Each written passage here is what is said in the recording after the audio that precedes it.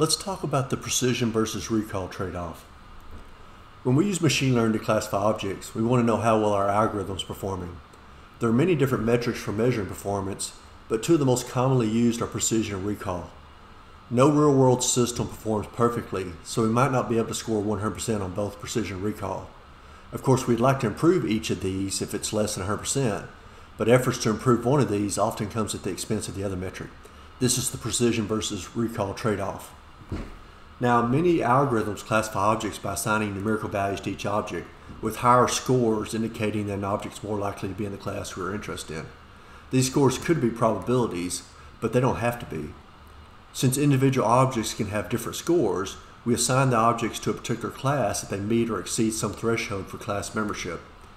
Increasing or decreasing the threshold changes which objects are in a particular class. So let's look at an example. Let's say that we have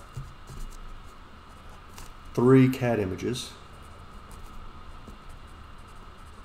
in our data set and two dog images.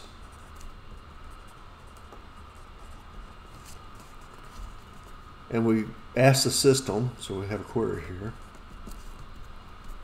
we ask the system to give us all images of cats. And the results that we get are two cat images and one dog image.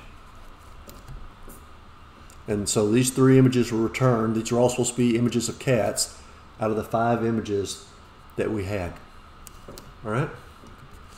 So since two of the three images that were returned really are cats, because these values right here, these are the true values, but our system doesn't know that. That's why we have some algorithm trying to figure it out. These are the true values.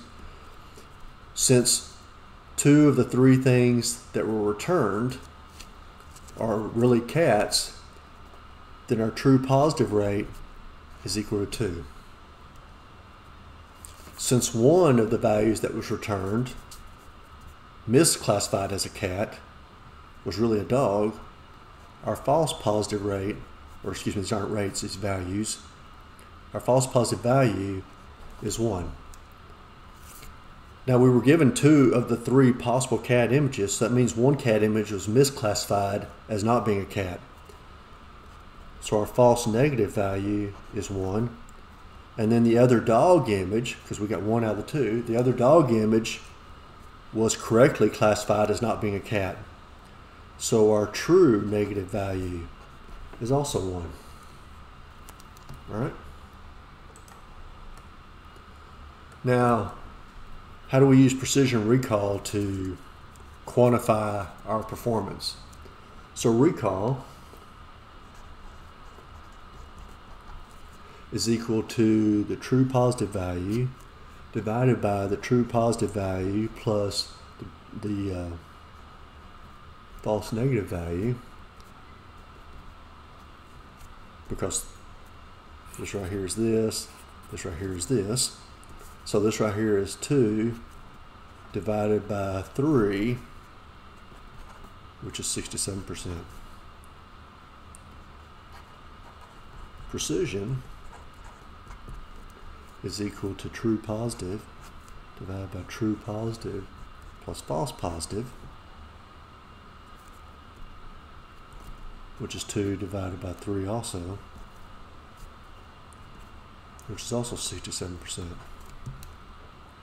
So what do these really mean?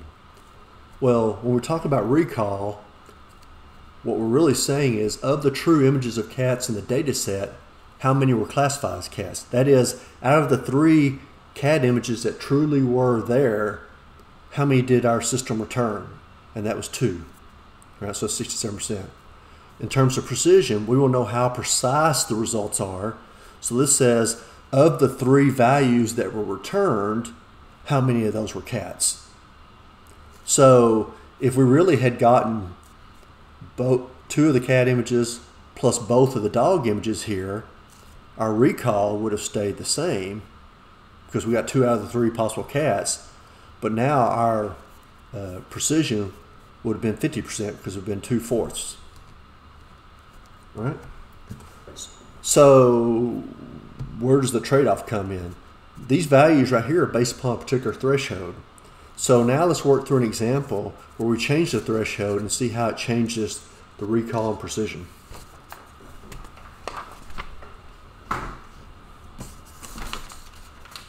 All right, so let's create a table here. Make sure you can see this. So over here, I'm going to have the images in order by score, highest to lowest. So ordered by score, whatever that is. So we have a cat images, or cat image, excuse me, another cat, one of the dogs, another cat, the final dog. Right? And so here we'll have true positive, false positive, false negative, and true negative. And then we'll calculate recall and precision.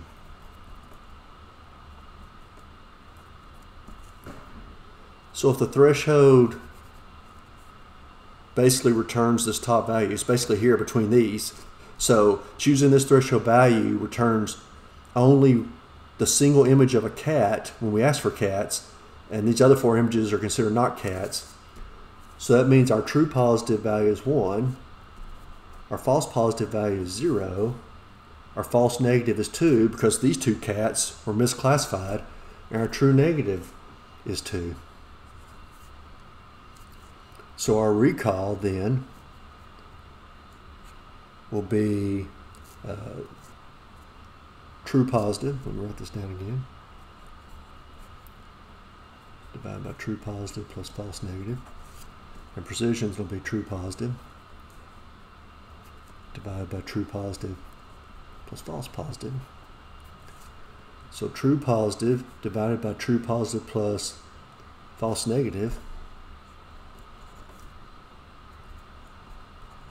is one third or 33%. And our precision here will be true positive divided by true positive plus false positive. So 1 divided by 1 plus 0 is 1, which is 100%. So we have good precision, but our recall is pretty poor. So now we lower the threshold. And when we do, what's returned are two pictures of cats and no pictures of dogs. So now our true positive value goes up to 2, false positive is still 0, false negative is now 1 because only one cat image was misclassified, and our two dog images are still correctly classified as not being cats. So now we get true positive divided by true positive plus false negative. So now I get 2 divided by 2 plus 1, which is 67%. And then our precision will be 2 divided by 2 plus 0, which is still 100%. Lower the threshold to here. So now what we get are two cats and a dog. That was what we saw in our original example.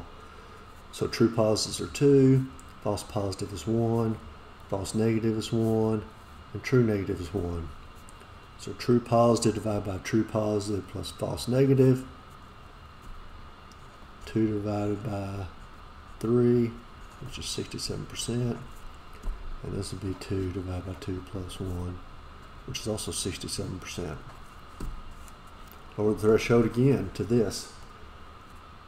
Now we get three cats and a dog.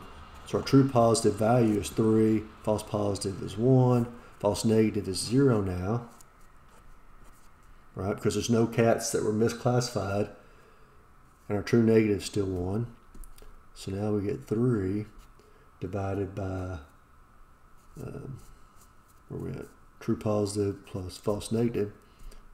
3 plus 0, which is 100%. And our precision here will be true positive, which is 3, divided by true positive plus false positive. So 3 quarters, 75%. And then finally, we lowered the threshold such that every image is returned. So we get three here, two here, zero and zero, because they all have to sum to five. Everything has to be in one of the four possibilities here. So true positive is three. Three plus zero equals 100%. And then here we get of the five things that returned, how many really were cats. So that's three fifths, which is 60%. So we see in general that as we lowered the threshold, the recall was increasing. So in general,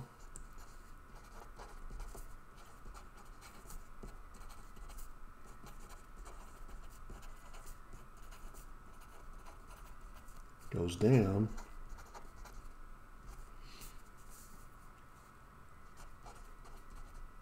Recall goes up.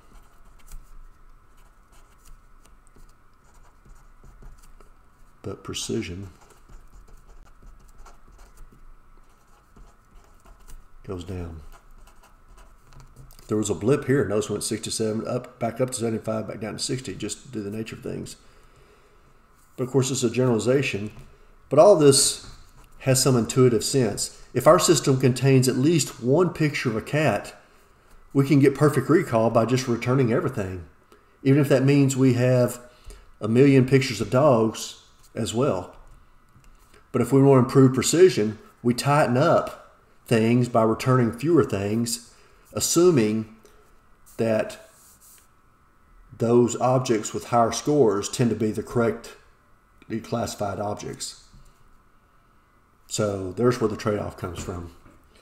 If you find videos like this helpful, please press the uh, subscribe button.